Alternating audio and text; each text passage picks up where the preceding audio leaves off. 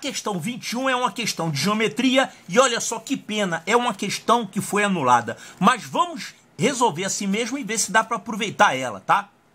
Então aqui está dizendo o seguinte, dois aviãozinhos. Outra manobra, agora executada por dois aviões, escreveu nos céus de Barbacena o nome da aeronave Chavante, com a tradicional fumaça. Então os aviãozinhos fizeram essas trajetórias, escreveram aqui o X, Chavante. Bom, o planejamento matemático para a letra X foi descrito como a seguir. Então ele diz o seguinte: o primeiro avião voa de A até J percorrendo 20 quilômetros. De A até J, 20 quilômetros. O segundo avião voa de L até M, L até M, percorrendo 24 quilômetros. As trajetórias marcadas pelas fumaças se dão em linhas retas, sendo um dos ângulos, ó, ângulos, hein, tá errado aqui, sendo um dos ângulos igual a 120 graus. E ele deu ainda que LO é igual a M e AO é igual a OJ. Então, LO é igual a OM e AO é igual a OJ. E ele deu essas distâncias, né? Olha, só que eu tô vendo dois problemas sérios aqui. Quem escreveu essa questão não entende nada de esquadrilha da fumaça. Por quê?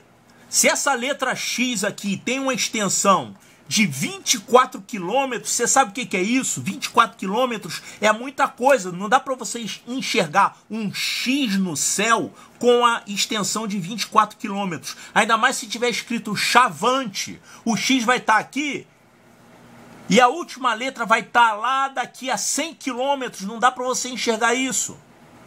Se você enxergar um X no céu, você vai ver o início do X aqui e o final da letra vai estar tá lá na linha do horizonte. Mal vai dar para você entender que aquilo ali é um X. E pior ainda as outras letras. Você não vai enxergar as outras letras. E outra coisa, o avião, quando solta a fumaça, depois de uns 500 metros, aquela fumaça já se dissipou toda por causa do vento, tá? Esses aviões da esquadrilha fumaça, quando eles escrevem alguma coisa no céu, eles fazem com tamanhos pequenos é, uns 500 metros mais ou menos cada letra. Não dá para fazer isso aqui. Então isso aqui está, do ponto de vista prático, está absurdo. Mas não foi por isso que a questão foi anulada, não. Foi por causa disso aqui, ó. As trajetórias marcadas pelas fumaças se dão em linhas retas, sendo um dos ângulos Deixa eu corrigir isso aqui. Um dos ângulos igual a 120 graus. Então, olha só.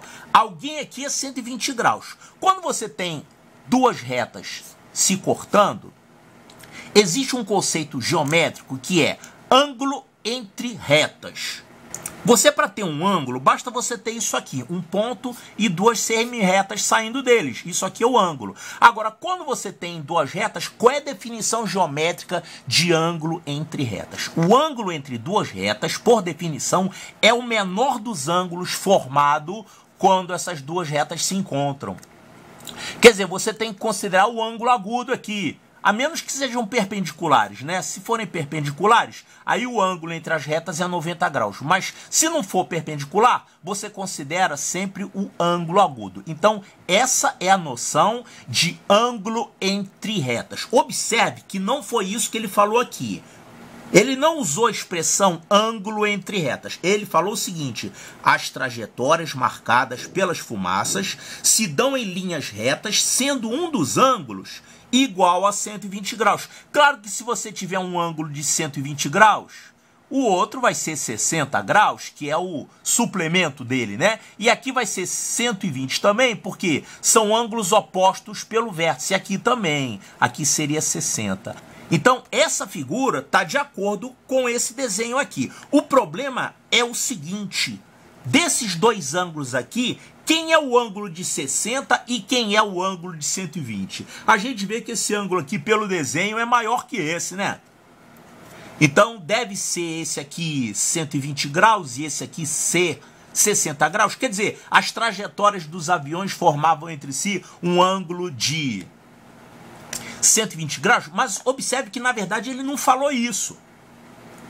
E esse foi o motivo da anulação da questão. Não está claro se essa trajetória desses dois aviões foi assim. Vamos fazer um ângulo de 120 graus direito aqui? 120 graus é mais próximo disso aqui, tá? Aqui você tem 60, que é o ângulo de um triângulo equilátero, né? 60 graus. E esse outro aqui, 120. Então, você teria a figura desse jeito. Agora, você pode ter também a figura assim, ó. Aí você teria aqui 60 e aqui 120. Esse ângulo que ele colocou aqui no desenho não é nem assim nem assim. Mas pela figura a pessoa fica desconfiada, já que esse ângulo aqui, pela figura, esse ângulo é maior que esse. Então fica desconfiado que esse é o de 120. E não tá certo, porque olha só o que, que ele falou. Ao término da manobra, se D é a menor distância possível se D é a menor distância possível entre os aviões, em quilômetros, então D está mais próximo de. Como assim maior distância possível? Se você tem uma trajetória definida, que ela já começou e ela terminou aqui, então está definida essa distância. Ele quis dizer menor distância possível seria se ele fizesse as trajetórias desse jeito aqui. Quer dizer, você teria aqui o ângulo de 60 graus entre essas semi-retas aqui descritas pelos aviões. E aqui, se fosse desse jeito, você teria uma distância maior entre os aviões. Aqui você teria uma distância menor. Então, com essa expressão, a menor distância possível, ele queria que você fizesse desse jeito. Mas está mal feito esse enunciado, né? Poxa, matemática você tem que ser preciso no que você diz. Fala logo. Qual é o ângulo direito? Não fala desse jeito. Então, nós vamos resolver desse jeito aqui, porque ele falou menor distância possível. Eu confesso a vocês que quando eu resolvi essa questão, eu fiz desse jeito. Porque eu olhei aqui, ah, esse aqui é o ângulo de 120, é o maior, e fiz desse jeito. Mas ficou meio estranho, né? Então, por isso, o pessoal conseguiu a anulação dessa questão. Então, vamos fazer desse jeito aqui. Olha só. Ele deu que essas medidas aqui são 20 quilômetros, de A até J são 20 quilômetros, então aqui você vai ter 10 quilômetros. E de L até M são 24 quilômetros, então você vai ter aqui 12. E agora olha para esse triângulo aqui. Aqui está a distância D entre os aviões, a manobra terminou aqui, os aviões estavam nessas posições. Você pode descobrir esse valor de D usando lei dos cossenos nesse triângulo.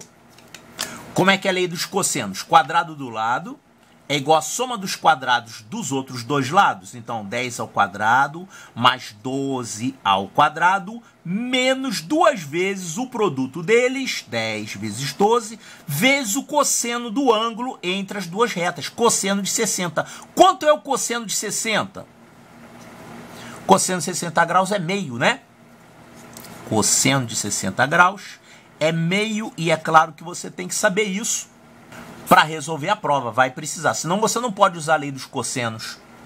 Então, essa distância ao quadrado, ela vai ficar como? 10 ao quadrado 100, 12 ao quadrado 144, e isso aqui vai ficar, ó, cosseno de 60 é meio. Meio vezes 2 dá 1.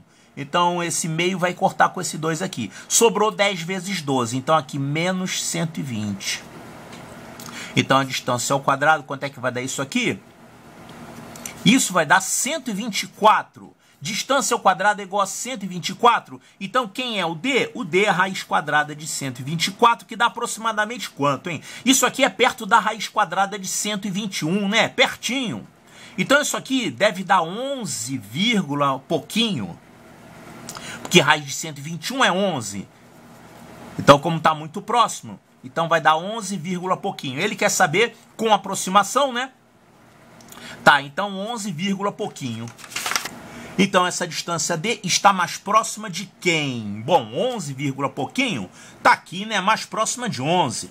Está acima de 11, está abaixo de 12. Aliás, está bem abaixo de 12. Porque se fosse 12, seria 144. 12 ao quadrado. 144 está muito acima, né? Esse número aqui está bem perto de, de 121. Então é 11,1, alguma coisa assim. Então a distância que resolve o problema é essa aqui, 11. Resposta correta, letra D de delta.